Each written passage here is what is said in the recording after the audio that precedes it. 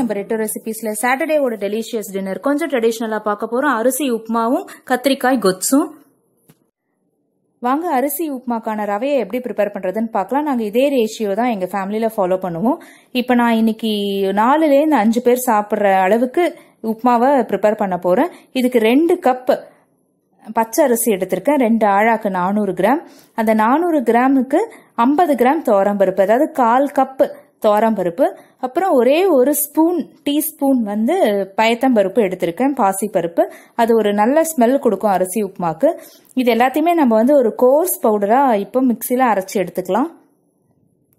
இப்போ அரிசி உப்புமா செய்யறதுக்கான ரவையோட கன்சிஸ்டன்சி பாருங்க. நல்லா வந்திருக்கு. இப்போ அந்த ரவையோட ஒரு டேபிள் ஸ்பூன் மிளகு சேர்த்துக்கலாம்.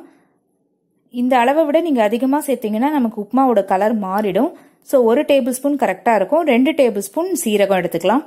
அதையும் மிக்சியில் வந்து ஒரு கோர்ஸ் பவுடராக அரைச்சிக்கோங்க. ஒரு ரொம்ப நேரம் அரைச்சிங்கன்னா வந்து மிளகு ரொம்ப பொடி பொடியாக ஆகிடும் ஸோ ஜஸ்ட் டேர்ன் பண்ணி ஆஃப் பண்ணிக்கோங்க. கரெக்டாக உங்களுக்கு இந்த கன்சிஸ்டன்சிக்கு ரெடி ஆகிடும் இப்போ நம்ம இந்த உப்புமாவை வந்து ப்ரெஷர் குக் தான் பண்ண போகிறோம் இதுக்கு நான் ஃபர்ஸ்ட் அந்த குக்கர்லேயோ பேன்லேயோ வந்து ரெண்டு டேபிள் ஸ்பூன் எண்ணெய் எடுத்துக்கோங்க. அது கூட ஒரு டீஸ்பூன் தேங்காய் எண்ணெய் எடுத்துக்கோங்க. அந்த எண்ணெய் சூடானதும் ஒரு டீஸ்பூன் கடுகு ஒரு டீஸ்பூன் கடலைப்பருப்பு ஒரு டீஸ்பூன் உளுத்தம் பருப்பு ரெண்டு வரமிளகா கொஞ்சம் கருவேப்பிலை. இது எல்லாத்தையுமே சேர்த்துட்டு நல்லா வறுத்துக்கோங்க. அது நல்லா வறுபடட்டும். அது கலர் மாறுற வரைக்கும் நல்லா வறுத்துக்கோங்க. அப்புறம் ஒரு பெரிய பச்சை மிளகாவை சின்ன சின்னதாக நறுக்கி சேர்த்துருக்கேன்.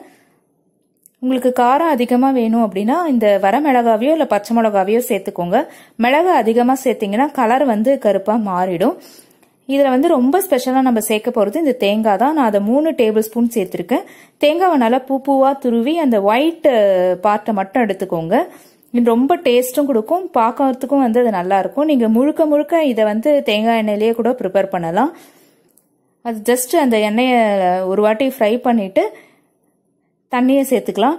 இப்போ நம்ம எடுத்திருக்க அந்த அரிசி பருப்பு அந்த கலவைக்கு நான் வந்து நானூறு கிராம் அரிசி எடுத்தேன். அதாவது ரெண்டு டம்ளர் அரிசி நீங்கள் எடுத்திருப்பீங்க.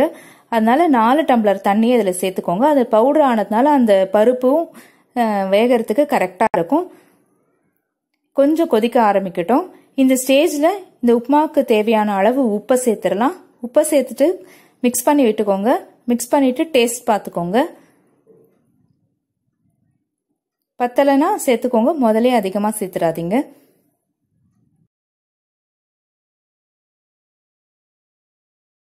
இது கொஞ்சம் கொதிக்க ஆரம்பிச்ச உடனே நம்ம ரெடி பண்ணி வச்சிருக்க ரவையை சேர்த்துடலாம். இப்போ பாருங்க நம்ம அந்த ரவா உப்புமாக்கான ரவையை இதில் சேர்த்துடலாம். இது நீங்கள் சேர்த்த உடனே அது கொதிக்கும் போதே உங்களுக்கு நல்ல சூப்பராக வாசனை வரும். அந்த தேங்காயும் அந்த தேங்காய் எண்ணெயும் அதில் வறுபட்டு மிக்ஸ் ஆகிருக்கிறது வந்து சூப்பராக இருக்கும் வாசனை. நல்லா மிக்ஸ் பண்ணி விட்டுக்கோங்க. இப்போ கூட நீங்கள் உப்பை வந்து டேஸ்ட் பார்த்துக்கலாம். பாருங்க அது எல்லாமே நல்லா கலந்துருக்கு. இப்போ நம்ம அதை மூடி போட்டு ஒரு ரெண்டு விசில் வர அளவுக்கு அதை வந்து நம்ம ப்ரெஷர் குக் பண்ணிடலாம். கொதிக்க ஆரம்பிச்சாச்சு. நம்ம லிட்டு போட்டு வெயிட் போட்டுடலாம். இந்த அளவுக்கு ரெண்டு விசில். ரொம்பவே ஆப்டான சைட் டிஷ் இந்த அரிசி உப்புமாக்கு கத்திரிக்காய் கொச்சு வாங்க எப்படி பண்றதுன்னு பார்க்கலாம். இதுக்கு ஒரு பேன்ல நான் இன்னைக்கு ரெண்டு டேபிள் ஸ்பூன் எண்ணெயை சேர்த்துருக்கேன். அந்த எண்ணெய் சூடானதும் ஒரு டீஸ்பூன் கடுகு ரெண்டு வரமிளகா ஒரு டீஸ்பூன் கடலைப்பருப்பு ஒரு டீஸ்பூன் உளுத்தம் பருப்பு அதே மாதிரி ஒரு டீஸ்பூன் வேர்க்கடலையும் நான் இன்னைக்கு சேர்த்துருக்கேன். இது எல்லாமே வந்து நல்லா எண்ணெயில் வந்து வதங்கட்டும். இதை நிறைய பேர் வந்து கத்திரிக்காயை சுட்டு அதை வந்து மசிச்சும் இதில் சேர்த்துப்பாங்க. நான் டைரெக்டாக எல்பிஜி ஃப்ளேமில் அதை சுட வேண்டான்றதுனால நான் இன்னைக்கு அதை வந்து ரொம்ப சின்ன சின்னதாக கட் பண்ணியிருக்கேன். நீங்களும் இந்த கொச்சு பண்ணுறதுக்கு கத்திரிக்காவை ரொம்ப பொடி பொடியாக வந்து கட் பண்ணிக்கோங்க. அப்போ நம்ம கையிலேயே அதை வந்து ஸ்மாஷ் பண்ணலாம். காரத்துக்கு ஒரு பச்சை மிளகா சேர்த்துருக்கேன். உங்களுக்கு வேணும்னா நீங்கள் அதிகமாக சேர்த்துக்கோங்க. அது எல்லாமே எண்ணெயில் நல்லா வறுபடட்டும். இப்போ கால் கிலோ கத்திரிக்காவை ரொம்ப பொடி பொடியாக கட் பண்ணி வச்சுருக்கேன். அதை அப்படியே இதில் சேர்த்துடலாம். இது பாருங்க இந்த அளவுக்கு நீங்கள் அந்த கத்திரிக்காயை கட் பண்ணியிருந்தீங்கன்னா தான் சீக்கிரமாக அது வேகும். கொஞ்சம் நம்ம வந்து கையிலேயே அதை வந்து மசிச்சு விட்டுக்கிற மாதிரி இருக்கும். இப்போ இது சேர்த்துட்டு இது கூட வந்து அரை டீஸ்பூன் மஞ்சள் பொடியும் ஒரு அரை டீஸ்பூன் பெருங்காயமும் சேர்த்துருக்கேன். நல்லா இந்த எண்ணெயிலே வந்து அது வதங்கட்டும். நீங்கள் மூடி போட்டும் வந்து அதை மூடி வச்சு வேக வச்சுக்கோங்க. நல்லா மிக்ஸ் பண்ணிக்கோங்க. இந்த மஞ்சள் அந்த பெருங்காயம் பச்சை மிளகாவோட காரம் எல்லாமே சேர்ற அளவுக்கு அதை நல்லா வந்து மிக்ஸ் பண்ணி விட்டுக்கோங்க.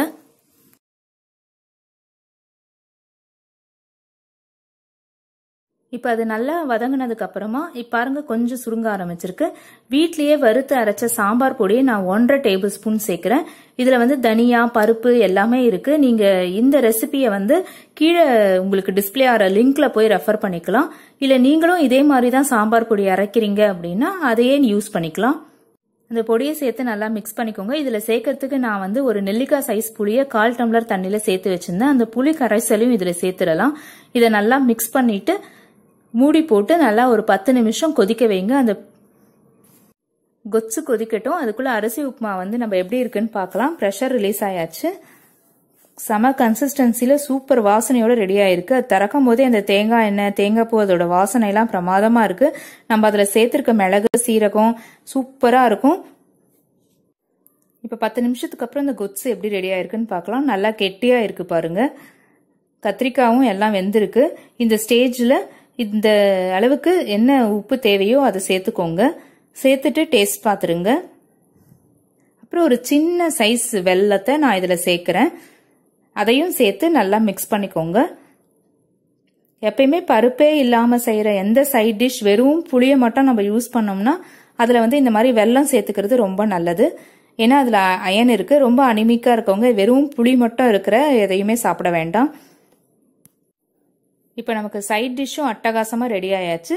நம்ம கரண்டியாலேயே வந்து அந்த கத்திரிக்காயை லேசாக மசிச்சு விட்டுக்கலாம். அது உருவமே இல்லாதபடி மசிக்காதீங்க. கொஞ்சம் கொஞ்சம் தெரிகிற மாதிரி இருக்கட்டும். இது மேலே அலங்கரிக்கிறதுக்கு கருவேப்பிலையை சேர்த்துக்கோங்க. மல்லியை விட அது நல்ல வாசனை கொடுக்கும். சூப்பராக ரெடி ஆயாச்சு. சாட்டர்டே டின்னர் ரொம்ப ட்ரெடிஷ்னலாக அரிசி உப்புமாவும் கத்திரிக்காய் கொச்சும் நமக்கு சூப்பராக ரெடி ஆயாச்சு. நீங்களும் ட்ரை பண்ணி பார்த்துட்டு உங்கள் கமெண்ட்ஸை மறக்காமல் அனுப்புங்க. வாவ் சூப்பராக இருக்குது வாங்க சாப்பிட்லாம். இந்த டெலிஷியஸ் டின்னர் பண்ற வீடியோ உங்களுக்கு பிடிச்சிருந்ததுன்னா லைக் பண்ணுங்க ஷேர் பண்ணுங்க சேனலை சப்ஸ்கிரைப் பண்ணுங்க. பக்கத்துல இருக்க நோட்டிபிகேஷன் பெல்லையும் ஆன் பண்ணிக்கோங்க. Thank you